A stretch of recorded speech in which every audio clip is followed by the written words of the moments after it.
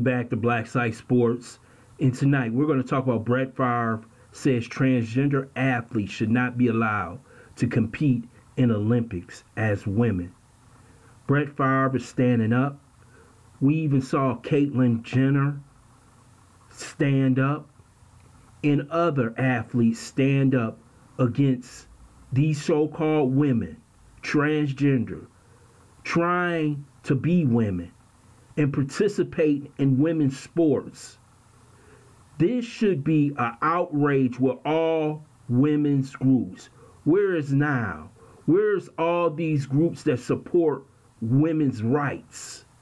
How the hell can a woman compete with a man? Now they're going to say their testosterone levels are low, but she's still a he, she a he still has the bone mass of a man.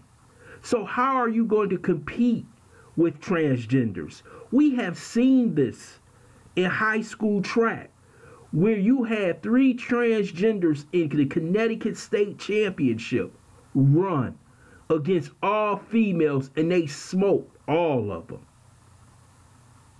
This is when you know not only is this cancel culture this transgender culture, and all these different cultures they make up every other month. It's destroying the balance of nature.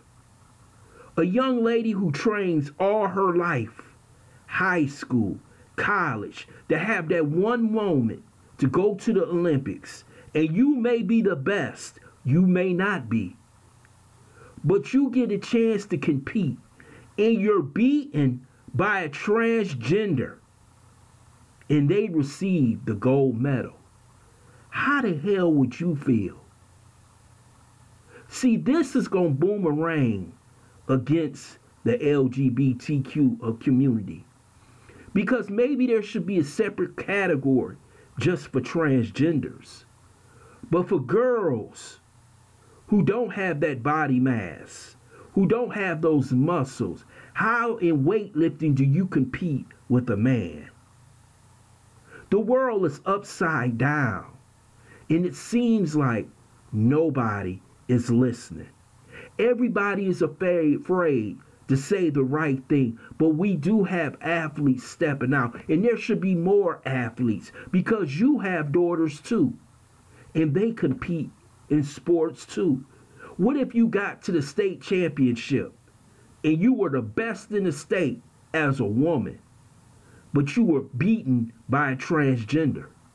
When you look back on your life and say that was my state championship, when you look back and regret that someone didn't stand up for you and that gold medal could have been around your neck, this is how far this nonsense has gone when right is wrong and now wrong is right.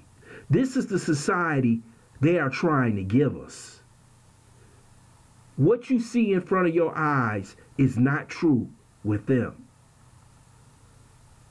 So now we have this man who's now a transgender woman competing with women.